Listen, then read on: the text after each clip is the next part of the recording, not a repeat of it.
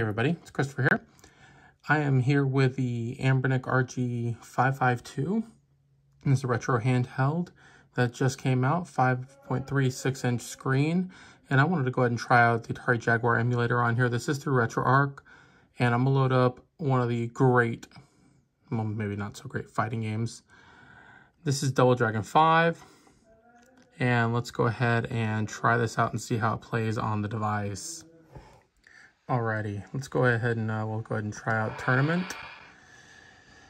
Double Dragon 5. This is the first non-side-scrolling beat 'em up in the series, and I wish that they uh, kept with the original format, but here we go. Jawbreaker it is. Strength 3. Yeah. Strength 4, sure.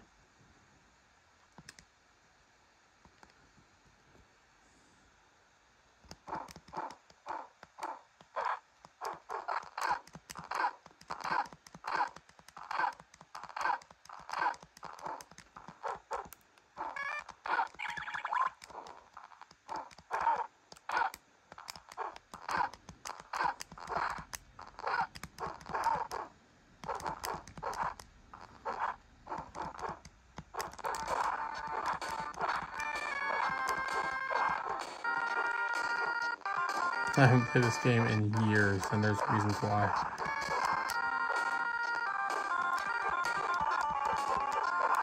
Ow.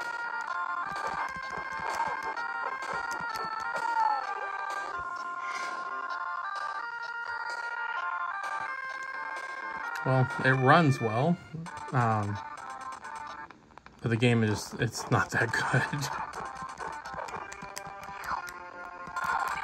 What, what is that, tongue action? Jawbreaker, stop it.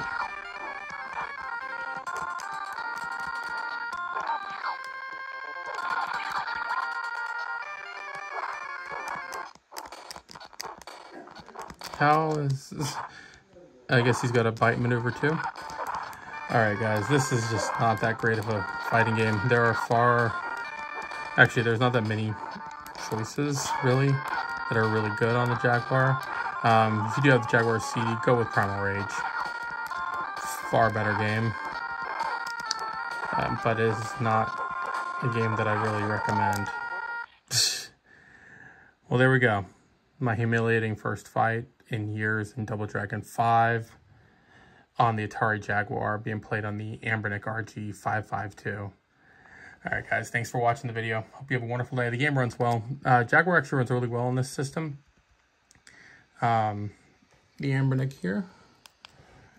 I will be trying out some more on there. It is Android-based uh, retro handheld touchscreen, 5.36 inch screen. I really do enjoy it. It's good size to the system. Feels great when you're playing.